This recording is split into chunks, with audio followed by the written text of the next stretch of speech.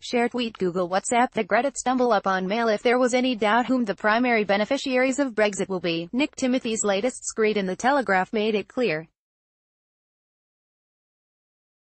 The former May Chief of Staff proposed a radical Brexit speech Theresa May could still make, which involves turning entire swaths of British territory into combined free ports and enterprise zones.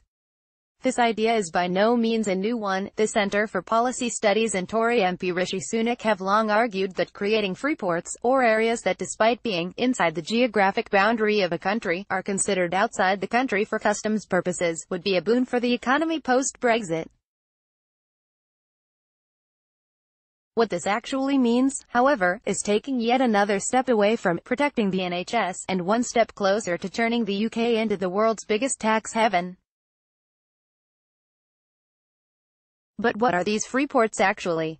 Within these areas, goods are able to enter and re-exit ports without having to go through standard import procedures or tariffs. Evoking Britain's already proud maritime history, supporters of this latest gimmick reckon these new zones could create 150,000 jobs, add more than £9 billion annually to the economy, and slip more than £1,500 into the pockets of each of Britain's northern families. Freed from the shackles of EU membership, which currently prohibits the UK from establishing free ports. These numbers are the cherries on the Brexit pie for Brexiters. On closer inspection, however, these claims fall apart.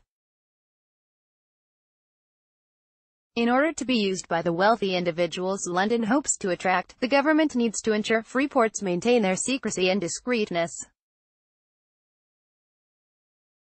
In so doing, it will be impossible for British tax authorities to gain access to them, effectively preventing the government from collecting tax money, instead of jobs. What London is bound to attract with such free ports is more controversy. A recent study by the European Parliament's Special Committee on Financial Crimes, Tax Evasion and Tax Avoidance TAX3, concluded that, far from being the working man's saving grace, free ports ultimately serve to boost money laundering and less than laudable trade flows. The case study singled out by the EP is telling and ominous, the scandal surrounding the Geneva Freeport and its former owner, Swiss art dealer Yves Bouvier, his ownership and operation of freeports in Geneva, Singapore and Luxembourg earned him the Freeport King moniker. Once the largest shareholder of the Freeport via his company Natural Le Coultre, Bouvier has come under scrutiny since the mid-1990s for the murky activities surrounding his Freeport.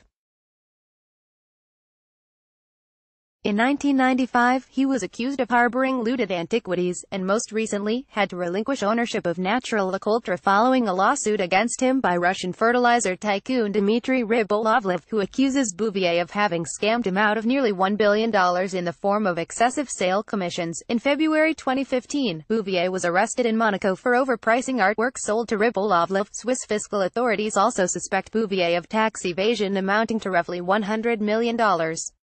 According to a recent public hearing of the TAX3 committee, the scandal is a prime example of the secrecy, lack of intelligent use of available data, and low enforcement of existing rules relating to free ports, and demanded more EU competences in that area, but the UK won't have to worry about more EU regulation. After all, wasn't Brexit about taking back control?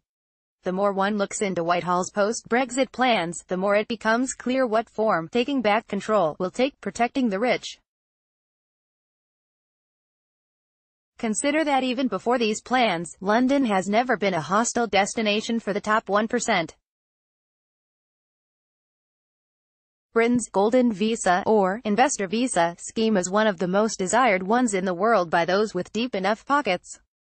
Under these so-called Tier 1 visas, UK residency is granted for an investment of at least £2 million, with Chinese and Russians being the most frequent applicants. Having granted more than 10,000 golden visas in the last 10 years, the scheme is certainly a lucrative one. Britain reportedly earns some £435 million a year from it. For the rest of the country, however, the scheme is a tax loophole with nightmarish results, facilitating widespread tax evasion and money laundering. Earlier this month, the Organization of Economic Cooperation and Development OECD blacklisted 28 golden passport schemes in 17 countries, voicing concerns that the global wealthy are stashing their cash abroad in exchange for residency rights. The Paris-based body officially warned that golden visas can be a means of evading international reporting standards designed to crack down on income tax evasion via offshore wealth holdings.